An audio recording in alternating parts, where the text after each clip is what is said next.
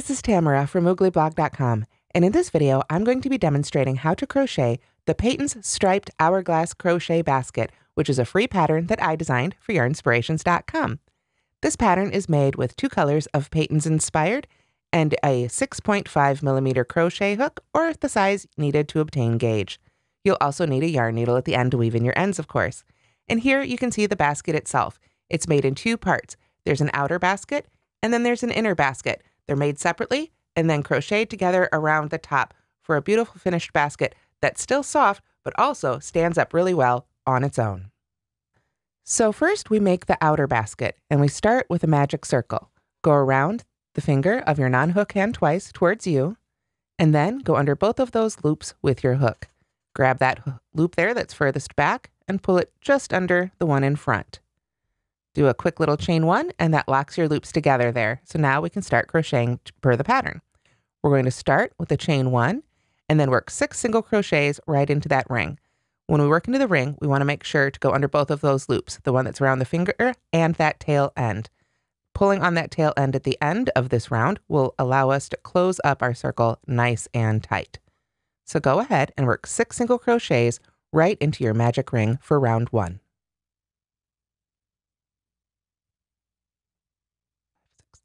Okay, so once you've got your six single crochets made, then you can go ahead and tug on that end there and it'll close your little ring right up. So then you can finish off your round one with a slip stitch right in the first single crochet there that you've made. There we are. After that, round two is simply chain one and work two single crochets in each stitch around. And in fact, we're going to continue working in pretty standard single crochet increases for the first several rounds until we're ready to make the sides of our basket.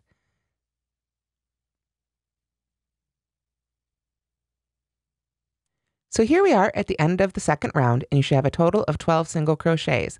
After that, you're going to keep increasing by six stitches per round all the way through round 12. So at the end of round 12, you should have a large flat circle. Then we'll be ready to work our sides.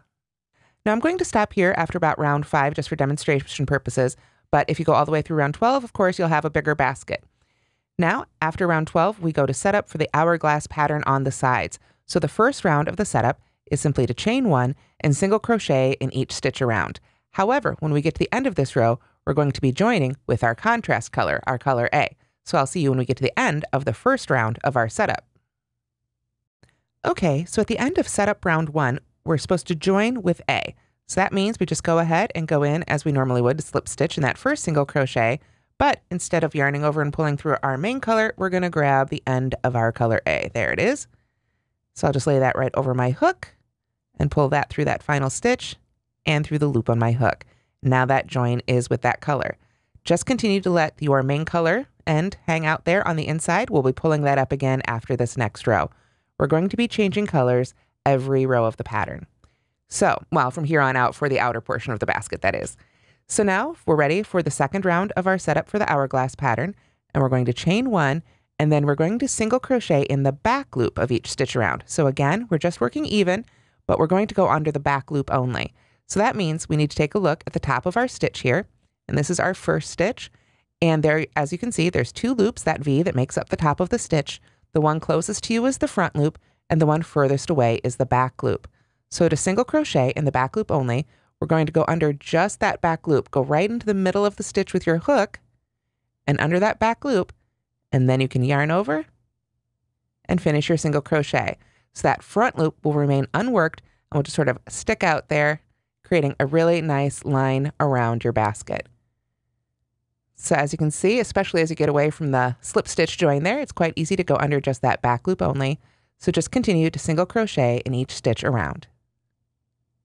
So now we're at the end of our second round of our setup and we're going to join with that main color again. So just as we did before, we're going to go ahead and insert our hook, but then go ahead and drop your color A and pick back up your main color to do that slip stitch. And if you find that those get a little loose, you can always just give a little tug on the unused color before you let it hang there right along the inside of the basket. So for the first round of our hourglass pattern, we're going to chain one, and then we're going to back loop single crochet in each of the next two stitches. So we go right in that first one we joined to. It's always a little harder with the one with the slip stitch in it. So there's one, And there's two. Nice and easy. Then we are going to front post double crochet around each of the next two stitches two rounds below. So that means we yarn over, we find the next stitch and look down to the stitch that it's worked into. And we go right around that post from the front to the back with your hook till it comes back out there in the front of your work. Yarn over, pull that loop up, yarn over and pull through two, and yarn over and pull through two. Then we do it again around the very next stitch. Still two rounds below. There we are.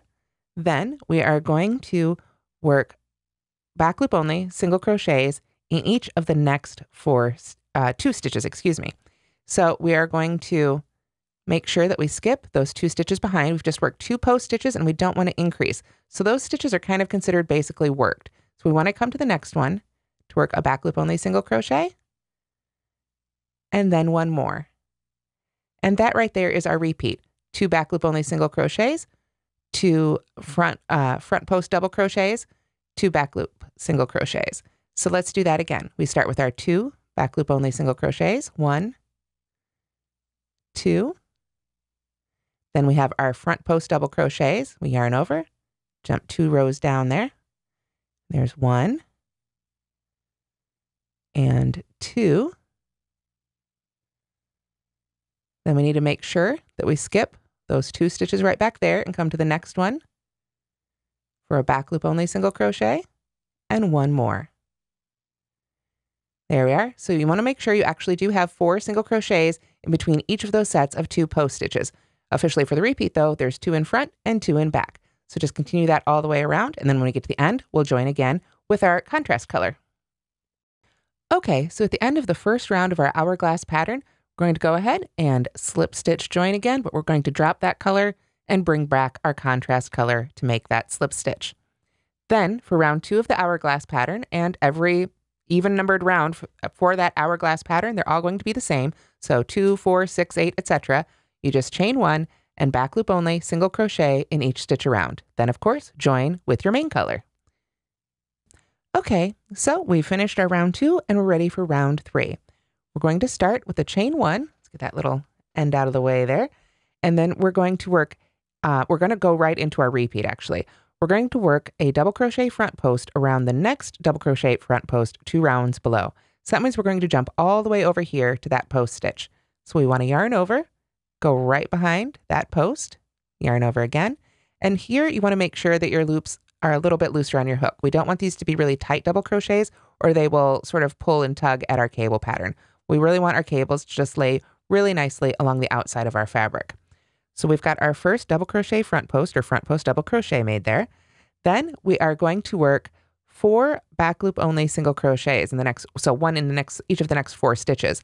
But we want to make sure that we skip over and don't work back into that stitch that we joined to that first stitch, because again, we don't want to increase and we've worked a post stitch there.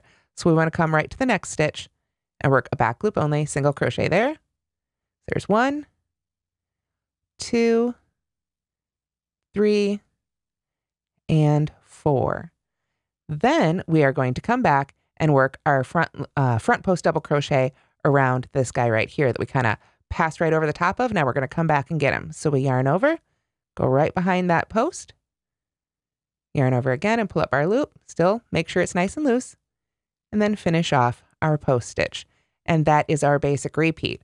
So now to start it again, we yarn over and jump all the way over to this double crochet front post here. So slide behind that post, pull up those loops and work off that double crochet.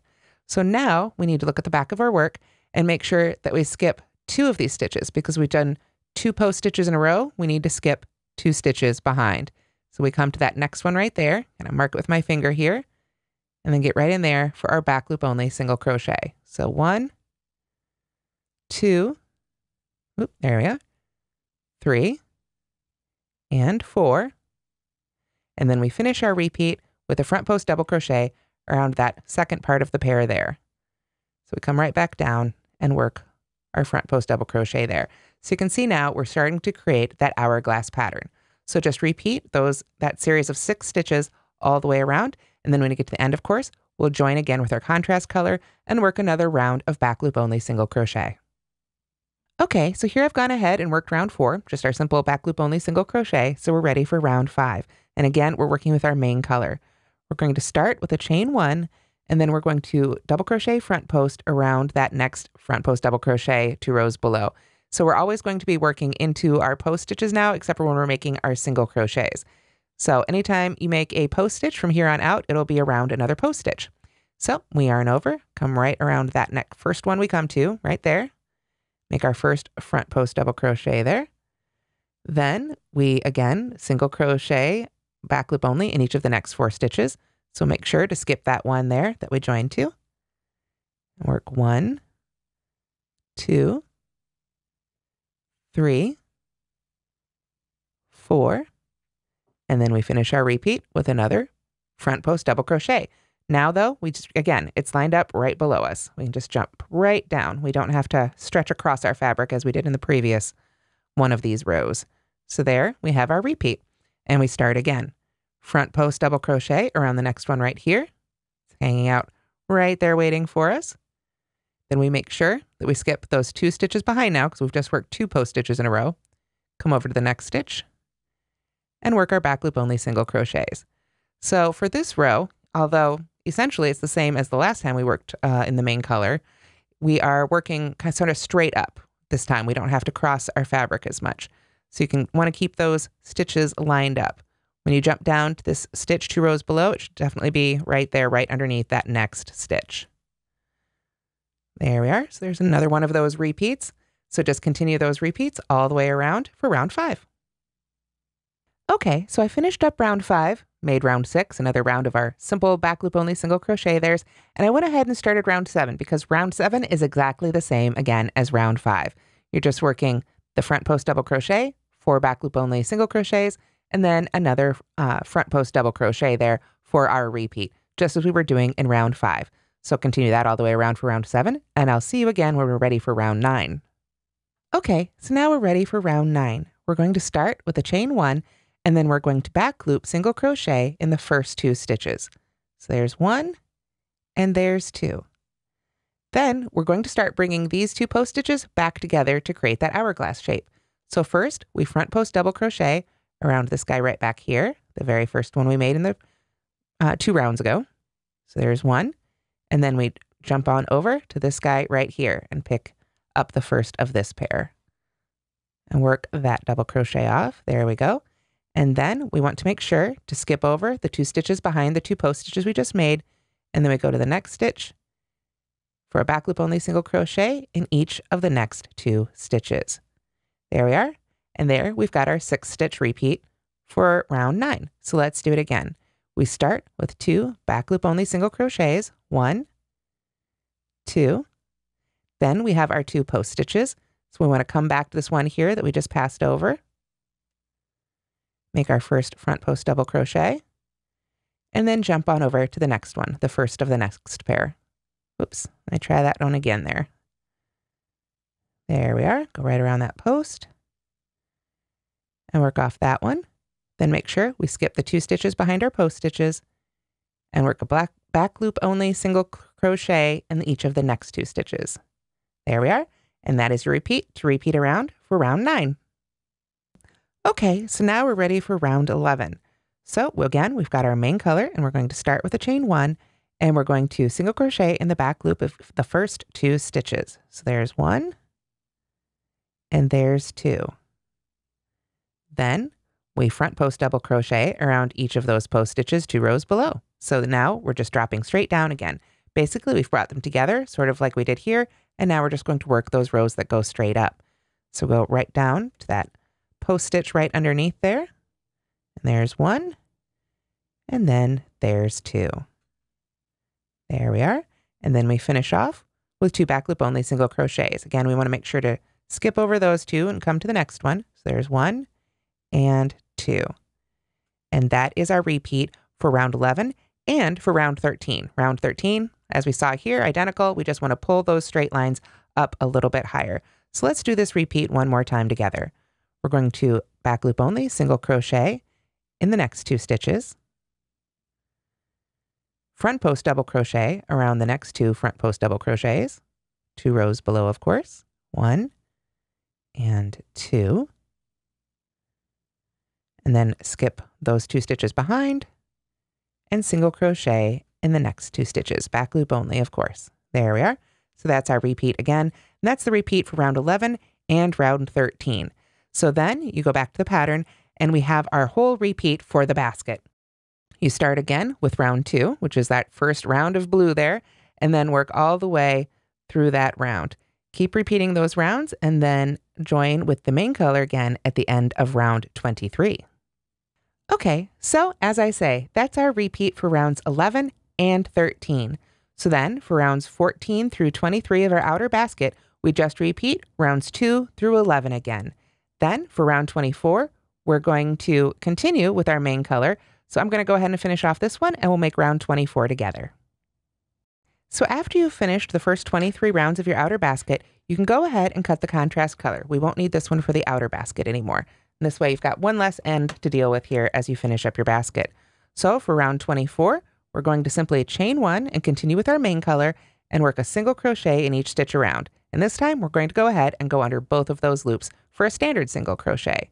At the end of this round, go ahead and join and fasten off, and then you'll be ready to make the inner basket. Okay, so after you've finished the outer portion of your basket, you set it aside and make the inner portion. But the inner portion is incredibly simple. It's just single crochets worked in the round again, just like we made the base of our outer basket, and then single crochets straight up the sides. I'm actually going to go ahead and turn our original full-size basket here wrong side out so we can get a better look. We simply work, as I say, rounds of single crochet until we've got the same size base and then we just single crochet straight up the sides. We don't have to work any fanciness. This is the inner portion of our basket. And because we want it to be a little stiffer, single crochet is a great choice. I chose to change colors uh, to our contrast color a little bit higher up the sides here um, so we could get full use of both skeins and just have a, really neat look on the inside of the basket. Once you've got this outer portion made, then what we want to do is attach the two together. Now, so we've got the wrong side of our basket here. Let me pull up this guy so you can see. This is what the wrong side looks like. Some simple stripes. We've got all our ends still hanging out here. Of course, I haven't woven those in. So when we're making the inner basket, depending on how you crochet it, if you're crocheting it that way, then you're all set. But of course, you're most likely going to have something with the right side of your work and your ends inside.